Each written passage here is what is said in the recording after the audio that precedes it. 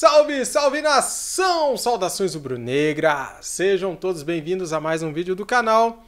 Vamos acompanhar a coletiva de imprensa do Maurício Souza, ok? Flamengo 4, Resende 1, gols de Vitinho, um golaço do Vitinho, gol de Pedro e dois gols de Rodrigo Muniz, sendo um golaço também de voleio ali do Rodrigo Muniz. Que jogador bom esse daí, hein, cara?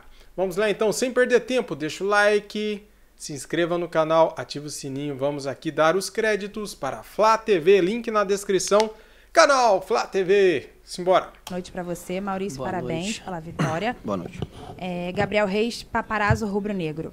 Boa noite, Maurício. Hoje, alguns jogadores do elenco principal voltaram, mas os jovens da base também se destacaram.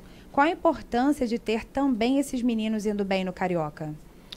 Boa noite. Eu acho que isso reforça né, o, o, a base do Flamengo, que é. E a importância é que cada vez mais eles se mostram, né? não só a, a torcida, a imprensa, mas também o Rogério, né, que estava aí mais uma vez avalia, é, vendo o jogo. Então eu acho isso uma importância, eles poderem estar atuando e, graças a Deus, estão atuando bem.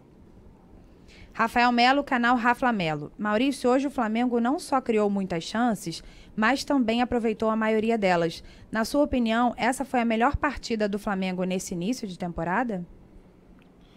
Sim, até porque a gente conseguiu nessa partida é, as, as, as, situações de gols transformá-las em gols, transformá-las em gols, né? Então, é, acredito que sim.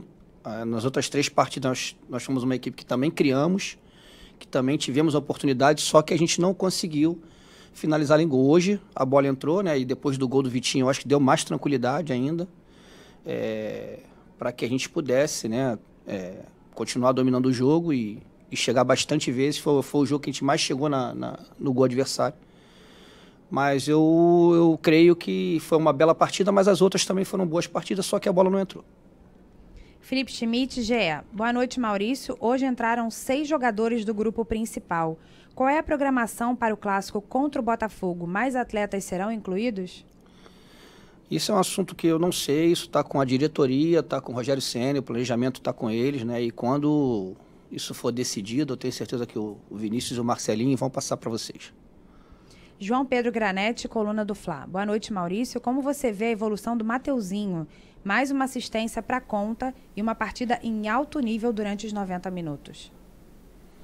É, o Mateuzinho é um jogador que eu conheço bem, é um jogador que está se equilibrando, é um jogador que gosta muito do, de apoiar, tem evoluído muito no jogo defensivo, tem muito recurso técnico, é um jogador que chega do lado da área, tem muita facilidade de dar assistência, né? E ele mais uma vez fez isso, né? No sub-20 comigo fez algumas vezes jogador que tem muita ambição, que quer um espaço e está aproveitando bem a oportunidade. Marcos Coelho, Rádio Tupi. Maurício, como você avalia a mudança de desempenho da equipe na comparação do primeiro com o segundo tempo? Eu acho que a partir do gol deu um pouco mais de tranquilidade, né? O gol do Vitinho talvez não tenha sido nem a oportunidade mais clara que a gente teve no jogo, né? Nós tivemos alguma oportunidade no primeiro tempo, que a bola passou na frente do gol, enfim, e eu acho que no segundo tempo, quando a gente coloca o Rodrigo Muniz, o Rodrigo Muniz é um jogador que incomoda muito a defesa, que perturba os zagueiros, que está em muita presença diária. É, e com o gol, o, o Rezende teve que sair um pouquinho, então ficou mais fácil da gente né, chegar na baliza adversária. Acho que mudou foi que a gente também, no, no, primeiro tempo, a gente tinha muita gente rodando a bola por trás, circulando a bola por trás, isolando às vezes o Pedro. O PP chegou bastante, mas isolando às vezes o Pedro. No segundo tempo a gente conseguiu ter mais gente na área. Última pergunta do Mauro Santana, canal do Mauro Santana. Maurício, você que conhece o Rodrigo Muniz, surpreende a atuação do atacante nesse início de estadual? A mim não. Eu converso muito com ele. É um jogador que eu também conheço há muito tempo. É um jogador que quer muito um espaço, está buscando o espaço dele. Ele hoje tentou até um gol do meio campo, porque ele já fez um gol na base. É legal que saibam disso. Ele fez um gol uma vez num jogo do, é, do meio campo, conseguiu botar a bola por cima do goleiro. É um jogador também que tem muita ambição, muito recurso técnico. E a mim não surpreende nada. Acabou? Obrigado. Obrigada, De nada. Maurício. Volte sempre, Maurício! E Maurício! assim a gente Galera, é o se seguinte, vamos aqui então, ó. De coletiva de imprensa do Maracanã. Muito obrigado aí Muito obrigado, Flá TV, tamo junto! Flá TV e você, é isso aí, cara. É nós, tamo junto. Galera, é o seguinte, ó. Vamos aqui falar um pouquinho deste jogo, cara. Que jogaço que o Flamengo fez, hein? Poderia ter sido 7, 8, 9, quanto vocês quiserem. O Pedro, no primeiro tempo, teve quatro, quatro oportunidades de gols, né? Bem clara, né? E o goleiro pegou bem. O goleiro dos caras do Resende é bom goleiro, hein?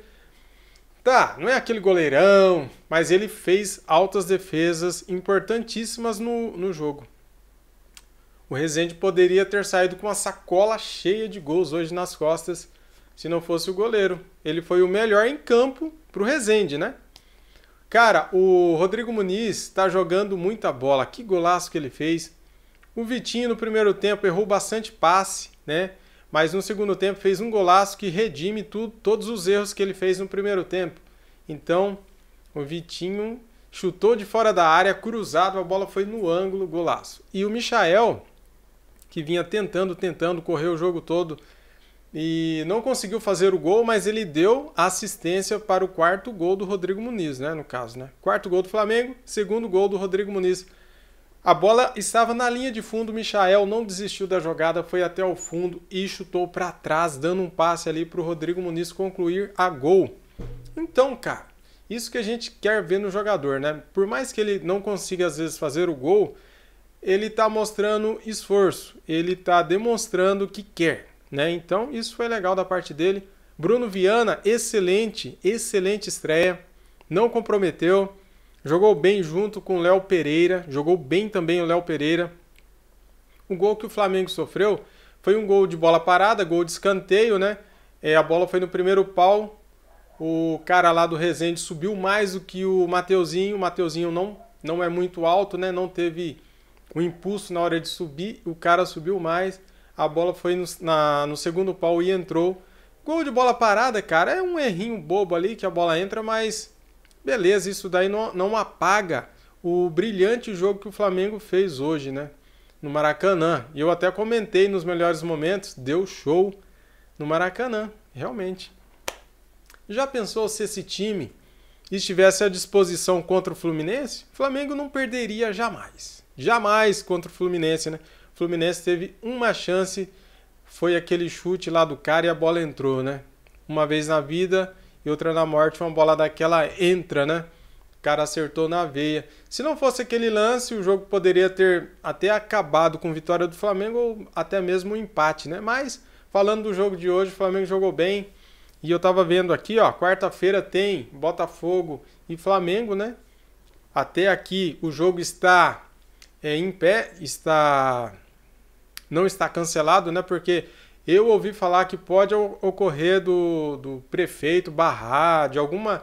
De, de, de barrar o campeonato carioca, né? Então até agora está tudo certo, não, não tem nada que comprometa o campeonato carioca. Até então, né, galera? Até este momento que eu estou gravando o vídeo, está confirmado quarta-feira Botafogo e Flamengo às 21 horas e 35 minutos, beleza? Tava vendo aqui, ó, o Hugo Moura, né, ele sofreu ali um corte na cabeça aos 8 minutos e deixou o gramado, né? Que pena, o garoto é bom de bola também, o Hugo Moura. Bem no comecinho ali, ele sofreu uma batida na cabeça e acabou cortando a cabeça ali, né? Muito bem, é isso, galera. E aí, vocês gostaram do jogo? Vocês acharam o que do jogo? Foi bom o jogo? Valeu a pena? Então, comente aqui, deixa o like, se inscreva no canal e ative o sininho. Eu achei um jogo bem interessante, valeu? Saudações rubro-negras e até o próximo vídeo. Valeu, galera. É nóis! Fui!